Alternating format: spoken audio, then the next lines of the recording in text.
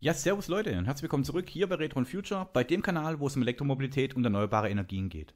Heute geht es wieder um eine PV-Anlage und heute möchte ich mit euch zusammen was berechnen.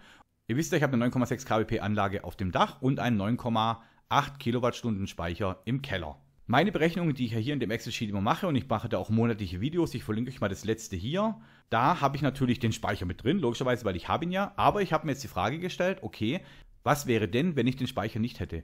Wie würde sich meine Autarkie verändern? Wie würde sich meine Eigenverbrauchsquote verändern? Wie würde sich meine Amortisation verändern? Ich denke, das ist natürlich das Wichtigste. Also nach wie vielen Jahren hätte ich denn eine Anlage wieder reingespielt, wenn ich mir den Speicher nicht gekauft hätte? Und genau das will ich heute mit euch berechnen. Und zwar für die, die meinen Kanal ja verfolgen. Ähm, ich habe hier ein schönes Excel-Sheet, wo ich immer alles schön tracke. Und ich habe schon mal eine Kopie gemacht von diesem Gesamtfile. Und das seht ihr im Endeffekt jetzt hier. Das heißt, das ist jetzt eine Kopie von dem, was ich in den letzten 2,3 Jahren mit meiner PV-Anlage erwirtschaftet habe. Im ersten Jahr war es bloß ein halbes Jahr, da hat man eben das ganze Jahr 2021 und dann jetzt bis zum Oktober. Und das sind dann im Endeffekt 2,3334 Jahre und das habe ich dann auch hier in die Amortisationsrechnung nochmal mit reingenommen, dass wir das wirklich ganz genau haben.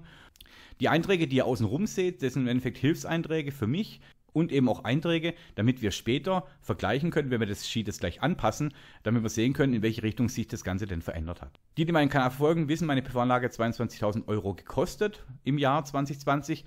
Das Video mit der Kostenrechnung verlinke ich euch nochmal hier, falls ihr euch das mal anschauen wollt. Ist wirklich interessant zu sehen, wie genau setzen sich denn die Kosten zusammen.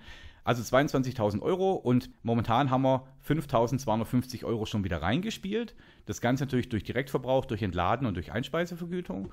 Und das im Endeffekt bringt uns eine Amortisationszeit von 9,78 Jahren. Und das ist die Anlage mit dem Speicher. Hier unten tracke ich den Speicher nochmal separat. Also der Speicherpreis ist in den 22.000 Euro schon mit drin. Aber ich tracke den immer noch separat, um zu sehen, okay, ähm, wie schnell amortisiert sich denn der Speicher selber? Und momentan sind wir da bei 11,67 Jahren und die Amortisation von dem Speicher funktioniert natürlich so, dass wir sagen, okay, wir haben ähm, das Entladene und das Entladene machen wir mal 30 Cent und ziehen aber dann pro Kilowattstunde natürlich auch wieder die 9,17 Cent Einspeisevergütung ab, die wir bekommen würden. Also hat der Speicher im Endeffekt einen Preis von etwas mehr als 20 Cent pro Kilowattstunde, die er im Endeffekt uns einspart und das tracke ich im Endeffekt hier nochmal separat. Und da sind wir bei 11,6 Jahren und das packt mein Speicher auf jeden Fall, da bin ich optimistisch.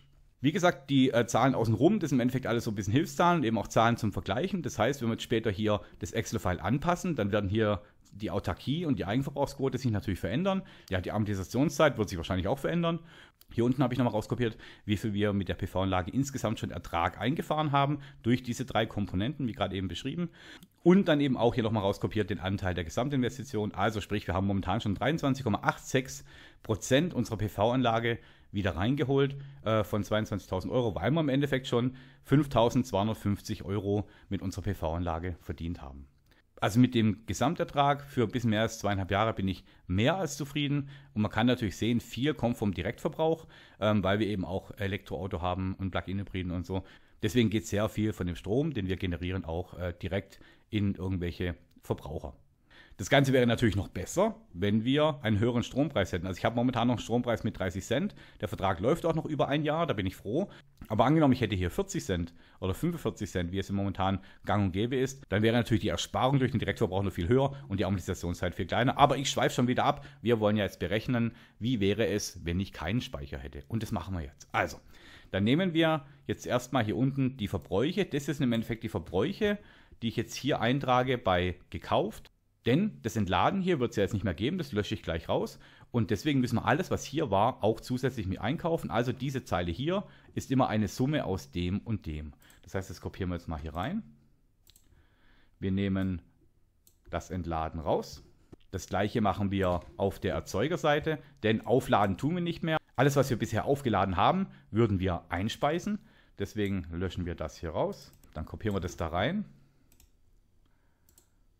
Wenn wir dann uns die Grafik unten anschauen, dann können wir sehen, wir haben jetzt natürlich nur noch zwei Farben pro Seite. Also bei der Erzeugung haben wir hier 38 Prozent haben wir direkt genutzt von der Erzeugung, aber wir haben 62 Prozent ins Netz eingespeist. Und wir können sehen hier oben rechts, dass im Endeffekt unsere Eigenverbrauchsquote eingebrochen ist von 57 Prozent auf 37. 37 Prozent ist immer noch gut, aber das kommt natürlich davon, weil wir eben auch die Elektroautos haben und die würde auch, äh, wenn wir keinen Speicher jetzt mehr hätten, steigen, denn wir kriegen eine Brauchwasserwärmepumpe Und eben auch die Wallboxen, die PV-Überschuss laden können. Die können das übrigens mit jedem System, weil die nicht mit dem Wechselrichter kommunizieren müssen. Ich verlinke euch mal das Video hier. Also für jeden, der einen Wechselrichter hat, der nicht so kommunikativ ist und der PV-Überschuss laden möchte, ohne dass im Endeffekt ja, eine Kommunikation mit dem Wechselrichter braucht, schaut euch das mal an. Das ist wirklich super. Damit könnt ihr im Endeffekt jede PV-Anlage äh, nutzen, um PV-Überschuss in eure Autos zu kriegen. Wenn wir dann den Verbrauch anschauen, können wir sehen, wir haben 45% abgedeckt durch unsere PV-Anlage und mussten aber immer noch 55% zukaufen. Und unsere Autarkie bricht im Endeffekt ein von 68% auf 44%. Wenn wir uns dann die Erträge anschauen, können wir sehen, äh, der Direktverbrauch sieht jetzt so aus, die Einspeisevergütung sieht dann so aus vom Betrag her, der ist natürlich stark gestiegen, weil wir viel mehr einspeisen. Insgesamt hätte man dann 4.281 Euro eingespart und das sind dann in der Differenz 968 Euro. Also das bedeutet, wir haben 968 Euro weniger eingespielt über diese 2,3334 Jahre als Mitspeicher. Und jetzt können wir hier rechts oben sehen, äh, die Amortisationszeit wäre 11,99 Jahre und zack, damit habe ich bewiesen, dass eben ein Speicher eine PV-Anlage sogar noch rentabler macht. Spaß. Für die, die natürlich ein bisschen mitrechnen und schauen, ähm, wir müssen natürlich auch noch die Investition hier anpassen, weil die 22.000 Euro, die waren ja mit Speicher und wenn wir diese 15.200 Euro nehmen, das sind im Endeffekt ähm, die 22.000 Euro minus den Speicher, der 6.800 gekostet hat. Und wenn wir das Ganze dann hier eintragen, dann können wir sehen, dann kommen wir auf eine Amortisationszeit von 8,28 Jahren ohne Speicher. Und ich denke, das ist echt eine Hausnummer, das ist wirklich super, im Vergleich zu Mitspeicher sind wir bei 9,78 Jahren. Das heißt, wir brauchen etwa eineinhalb Jahre mehr, weil wir den Speicher mit dabei haben. Diese Amortisationszeit ist schon wirklich super. Also hätte mir damals jemand gesagt, 8,2 Jahre und das Ding ist abbezahlt, hätte ich sofort gesagt, wow, das ist mega. Aber das wird sogar noch besser, denn wie gesagt, ich werde meinen Eigenverbrauch erhöhen, weil ich eben jetzt viel mehr in die Autos reinladen werde, weil wir weil wir die Warmwasseraufbereitung im Haus umstellen auf elektrisch. Deswegen gehe ich mal davon aus, dass wir hier auf 50% oder 60% kommen würden, selbst wenn wir eben keinen Speicher haben. Was die Rechnung aber auch zeigt, ist, dass eine PV-Anlage sich äh, auch mit Speicher gut rechnen kann. Also ich finde 9,78 Jahre ist jetzt auch keine apokalyptische Amortisationszeit. 8,28 Jahre ist natürlich besser. Nichtsdestotrotz ist mein Speicher mir wirklich wichtig und diese 1,5 Jahre, die ich länger in der Amortisation brauche, sind für mich in Ordnung. Also ich bin super zufrieden, denn eine PV-Anlage mit Speicher, die sich unter 10 Jahren amortisiert, ist doch wirklich klasse. Und danach wird im Endeffekt richtig gespart und dann freut sich das Schwabenherz. So, das soll es aber auch schon gewesen sein. Ich hoffe, das fandet ihr interessant. Also ich fand es mal richtig cool zu sehen, wie wäre denn der Unterschied, wenn ich den Speicher nicht dazu genommen hätte, wären das irgendwie 40 oder 50 Prozent weniger Amortisationszeit. Aber so viel ist gar nicht, sind im Endeffekt nur eineinhalb Jahre und ich denke, damit kann man durchaus leben. Also, wenn euch das gefallen hat, lasst mir einen Daumen nach oben da, Leute. Packt einen Kommentar unten rein und dann hören wir uns bald wieder in den nächsten Videos. Es ist ja einiges geplant. Wie gesagt, es kommt PV-Überschussladen. Es kommt die Norddachseite, wird belegt.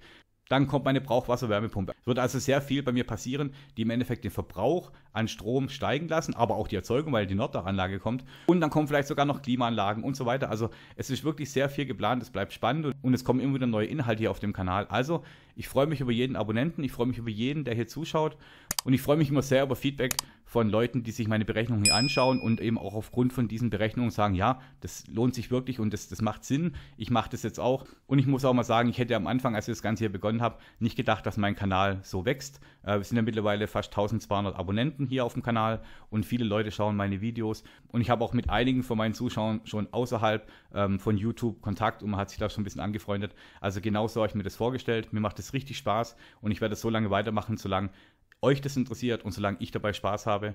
Aber jetzt höre ich auf, bevor ich noch sentimental werde. Mir macht es einfach riesen Bock. Ich hoffe euch auch meine Videos zu schauen. Also in dem Fall, macht's gut, bleibt gesund. Euer Steffen von Retro Future. Ciao.